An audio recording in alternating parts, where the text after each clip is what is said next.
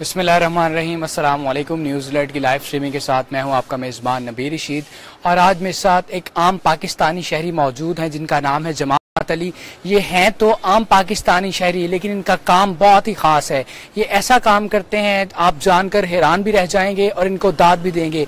मेरे साथ जमात अली मौजूद हैं, इनसे बात भी करेंगे। बात करने से पहले मैं आपको इनके काम के बारे में बताऊँ कि ये क्या ऐसा काम करते हैं कि आज हम इनका इंटरव्यू लेने के लिए पहुँच चुके हैं। जमात अली एक रिक्शा ड्राइवर हैं, ये रिक्शा चलाकर अपने घर का गुजारा करते हैं, लेकिन इनके अंदर खास बात यह है कि ये मरीजों को मुफ़्त अस्पताल तक छोड़ते हैं। चौबीस घंटे की ये सर्विस मुहैया करते हैं, चौबीस घंटे लाहौर के किसी भी एरिया के अंदर अगर किसी मरीज़ को कोई मसला है, कोई परेशानी है, उसने हस्पताल तक जाना है या अपने तिबी इमदाद के सिलसिले के अंदर किसी भी जगह पर जाना है तो जमात अली उनको अपने रिक्शे में बिठाकर मुफ़्त अस्पताल तक पहुंचाते हैं। ये जमात अली में सद मौजूद है, ये उनका रिक्शा मौजूद है। आप देख सकते हैं कि इनके रिक्शे के ऊपर लिखा गया है कि चौबीस घंटे एमरजेंसी सर्विस किसी भी अस्पताल की हो, बराए साल सवाब रजिया बीबी वल्द जोजा अब्दुल जबार, रजिया बीबी आपकी वालदा हैं। रजिया बीबी जमात अली की वालदा हैं, जिनके साले सवाब के लिए ये नेक काम जमात अली कर रहे हैं। जमात अली एक रिक्शा ड्राइवर, जैसा कि आपको पता है कि एक आम रिक्शा ड्राइवर दिन के अंदर कितनी मजदूरी कर लेता है, पाँच सौ हज़ार कमा लेता है। लेकिन जमात अली का आप जज्बा देखिए कि जमात अली लोगों की खिदमत के लिए बाहर निकले हैं और लोगों को आसानियाँ फराहम करने के लिए उन्होंने अपना रिक्शा वक्फ कर दिया है। चौबीस घंटे सर्विस देते हैं। अगर रात को तीन बजे, दो बजे भी अगर किसी मरीज़ को कोई मसला पेश आता है, जमात अली अपना रिक्शा लेकर वहाँ पर पहुँच जाते हैं। जमात अली से बात करते हैं, उनसे जानने की कोशिश करते हैं कि ये कब से शुरू है, किस तरह स्टार्ट किया। असलम वालेकुम सलाम। कैसे आप? खैरियत से हाँ? जी शुक्र अलहमदुल्ला दुआएँ अच्छा, पहले तो मुझे आप बताइएगा पहले मैं आपको अप्रिशिएट करूँगा अपनी टीम की जानब से अपने इदारे की जानब से। माशाल्लाह बहुत अच्छा काम कर रहे हैं लोगों की खिदमत कर रहे हैं आप। बड़ा मुश्किल होता है इस तरह के दौर के अंदर इस तरह काम करना। तो जमात में आपसे ये जानना चाहूँगा कि ये स्टार्ट आपने कब किया और किस तरह स्टार्ट हुआ कहाँ से आइडिया आया? अमूमी तौर के ऊपर जो रिक्शा ड्राइवर है जो पाँच सौ हज़ार की दिहाड़ी लगाता है उसको क्या ख्याल है उसको क्या पड़े जो लोगों की खिदमत करता है? फिर आउज़बिल्लिमिनशैतरजीम बिस्मिल्लाहिर्रहमानिर्रहीम सबसे पहले मेरा, सब मुसलमान भाइयों को मेरा सलाम। और तकरीबन 2011 में माशाल्लाह मेरे पास वर्कशॉप, मकान, गाड़ियाँ, सब कुछ था। एक घरेलू ऐसा मामला हुआ कि बड़े भाई से झगड़ा हुआ। हम दो ही भाई हैं। वालदेन फोत हो गए हैं। और ऐसा झगड़ा हुआ, उन्होंने मेरे से सब कुछ छीन लिया। गाड़ी, मकान, वर्कशॉप, सब कुछ छीन लिया। फिर मैं, मेरे पास काम कोई नहीं था। और एक दिन उसी भाई की कॉल आई, वो बहुत भी ज़्यादा बीमार हो गया। और उनको मैं अपने साथ हॉस्पिटल लेके जाने लगा तो गाड़ी भी पास कोई नहीं थी, कोई कन्वेंस नहीं थी। रास्ते में रिक्शे वाले रोक रहा था, कोई रिक्शे वाला चार सौ रुपये मांग रहा था कार्डियोलॉजी हॉस्पिटल लेके जाना था शालमर बाग से। कोई रिक्शे वाला रात का टाइम था कोई रिक्शे वाला चार सौ रुपये चार्ज मांग रहा था कोई पाँच सौ। लेकिन अल्लाह के फजल करम से हमसे एक मरतबा हॉस्पिटल पहुँच तो गए और उसके बाद सोचा यार जिस तरह आज तेरे साथ ये वाक्य पेश आया है अगर मेरे भाई की डेथ हो जाती तो रिक्शे वालों को क्या जाना था? लेकिन सबने अपने सब रिक्शे वाले भाइयों ने अपने किराए देखा लेकिन इंसानियत किसी ने देखी। उसके बाद वैसे भी मेरे पास काम कोई नहीं था फिर मैंने ये रेंट का रिक्शा पकड़ा। इसका मैं साढ़े तीन सौ रोज़ाना रेंट देता हूँ। और ये रेंट का रिक्शा चलाने से मेरे बच्चों की रोजी सीधी हो गई रोजी रोटी चल गई। और उसके बाद सोचा यार अगर आपने रिक्शा चलाना है जिस तरह मेरे भाई के साथ वाकई पेश आया तो किसी और के साथ भी आ सकता है। और फिर यही सोच के मैंने इंसानी खिदमत का सोच लिया भाई आज के बाद रिक्शा भी चलाना है और इंसानी खिदमत भी करनी है। अच्छा, मुझे ये बताइएगा आप साढ़े तीन सौ इसका रेंट देते हैं उसके अलावा आप मरीजों को मुफ़्त लेकर जाते हैं पेट्रोल भी लगता है तो कितने कैसे मैनेज कैसे होता है? आपके बच्चे भी हैं तो घर का गुजारा किस तरह होता है? मेरा घर भी रेंट पे है और मेरी गाड़ी भी रेंट पे है बच्चे भी माशा स्कूल जाते हैं। और ये तो अल्लाह पाक का मेरे ऊपर बहुत खास कर्म है और मेरी यही कोशिश है, जिस तरह मेरे ऊपर कर्म है, तमाम मुसलमानों पर कर्म होना चाहिए, वो भी कोई ऐसे नए काम करें, ये मुझे खुद मालूम नहीं है कि अल्लाह पाक मुझे कहाँ कहाँ से दे रहे हैं और किस तरीके से दे रहे हैं। अच्छा तो इस काम को करने के लिए निकी के काम करने कर, कर न, काम में आपको किन किन मुश्किल का सामना है? कोई ऐसी मुश्किल जिसका आपको फेस करना पड़ता हो? मुश्किल यही होती है कि रात के टाइम सोए होते हैं दो ढाई बजे कोई अचानक कॉल कर देता है कोई मज़ाक भी करते हैं लोग अब तो जानबूझ के तंग करते हैं लेकिन अल्लाह के फजल करम से मैं ये नहीं देखता मुझे किसी की भी कॉल आई मैं फौरी स्टैंड पर जाता हूँ क्योंकि मेरा घर रेंट पे है मेरे घर में गिराज नहीं है रिक्शा में घर में नहीं खड़ा कर सकता मैं इसके तीस रुपये रोज़ाना उसका रेंट भी देता हूँ स्टैंड का और वहाँ पे जाकर रिक्शा निकालता हूँ। अगर जिस, अगर कोई मरीज़ की कॉल आए तो फिर तो ये नए काम के लिए मैं निकल जाता हूँ। अगर कोई रॉन्ग कॉल मुझे तंग करता है ना तो घर से पहले मैं स्टैंड तक जाता हूँ। स्टैंड से फिर रिक्शा निकाल के जहाँ की वो लोकेशन आती है, कि भाई हम इस जगह पे मौजूद है, मरीज़ है। और वहाँ तक जाता हूँ, अगर वो झूठ है, फिर तो वो मेरी नेकियाँ लिखी जाती हैं, ठीक है? और जिसने रौन काल किए तो उसके गुनाह लिखे जाते हैं, ठीक है? अगर मरीज़ हो तो रास्ते में भी स्वाब है और मरीज़ छोड़ने में भी स्वाब है, लेकिन लोग बहुत ज़्यादा तंग करते हैं, अक्सर रात को शरारतें करते हैं, लेकिन मैं उनकी शरारत पे नहीं जाता। मैं कहता हूँ, शायद यार अगर मरीज़ ना हो, क्योंकि फ़ोन पे कोई किसी को सच नहीं पता, इन मुश्किल का सामना करना पड़ रहा है। अच्छा मुझे ये बताइएगा कि क्या मखसूस कोई एरिया आपने रखा है कि इस एरिया के अंदर आप घूमते हैं या लाहौर में किसी भी जगह के ऊपर आपको कॉल आए मरीज़ की तो आप चले जाते हैं और किसी भी हॉस्पिटल में या कुछ मखसूस हॉस्पिटल और मखसूस एरिया के अंदर आप काम करते हैं? नहीं, मखसूस तो नहीं है। ये मैंने माशाल्लाह पूरे लाहौर में ऑप्शन रखी है कि पूरे लाहौर में किसी भी हॉस्पिटल का मरीज़ हो।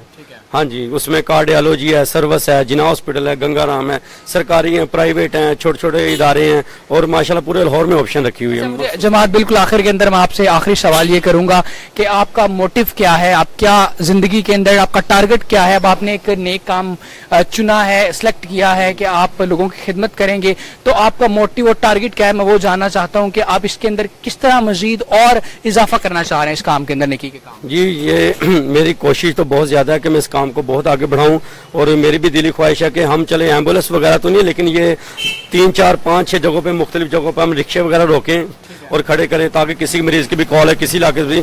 मुझे पता हो कि ये रिक्शा नज़दीक है, वो ग्यारह बाई की सर्विस से भी जल्दी स्पीड से रिक्शे वाले लेके जाए। और मेरा ये बेसिकल एक मिशन है और इंशाल्लाह ये वाम से अपील है कि मेरे लिए दुआ भी करें और ये मेरा मिशन काम है मेरा मिशन है सिटी स्कैन लगाने का। इधर लाहौर में एक दिन मुझे मरीज़ मिला उसके ब्रेन पे चोट लग गई। मैं शालीमार हॉस्पिटल पास ही था। मैं शालीमार ले गया। मैंने कहा, यार, ग्यारह भाई ने कहा आना है? तो मैं रिक्शे पे ले गया। लेकिन वो मरीज़ थोड़ा सा डेड हो गया था। वो दिमागी चोट लगी थी। लेकिन उधर सिटी स्कैन डॉक्टर कहा, इसका सिटी स्कैन फॉर यू का। तो उन्होंने छह हज़ार रुपया मांगा सिटी स्कैन का। और उनके पास इतने पैसे नहीं थे। वो उसका छोटा भाई कहता, भाई, हमारे पास छह हज़ार रुपया नहीं, हम सिटी स्कैन कहाँ से करवाएँगे? फिर मैं उनको जिना हॉस्पिटल ले गया, उधर एमरजेंसी में। उधर उनको, उन्होंने बेड पर लिटाया, उनका इसका सिटी स्कैन फौरी करवाएँ।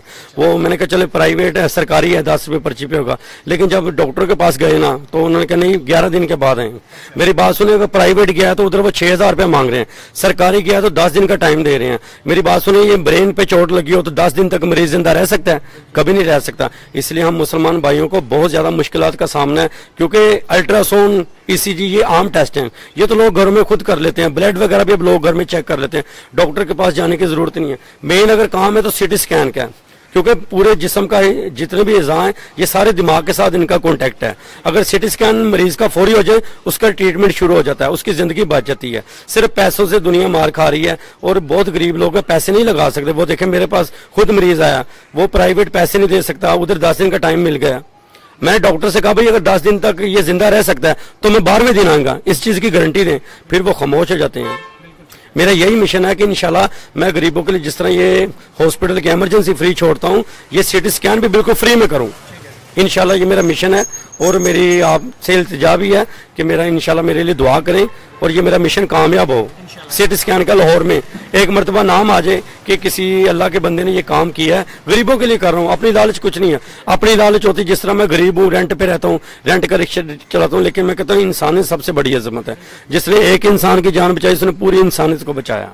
बहुत बहुत शुक्रिया जमात आपका। मेरे साथ जमात अली मौजूद थे, ये एक आम रिक्शा ड्राइवर हैं, जैसा कि लाहौर की सड़कों के अंदर मुख्तलिफ़ रिक्शा ड्राइवर मौजूद होते हैं। जमात अली भी एक आम रिक्शा ड्राइवर हैं, जो कि अपनी मजदूरी के लिए, अपनी उजरत के लिए सुबह निकलते हैं। लेकिन इनके अंदर खास बात यह है कि ये अपने काम के साथ साथ इनके अंदर जज्बा है लोगों की खिदमत करने का, अल्लाह की मखलूक की मदद करने का। तो उन्होंने इस सर्विस का आगाज़ कर दिया। ये बड़ी मुनफरद सर्विस है। पूरे पाकिस्तान के अंदर शायद जमात अली ही हैं, जो ये सर्विस मुहैया करते हैं।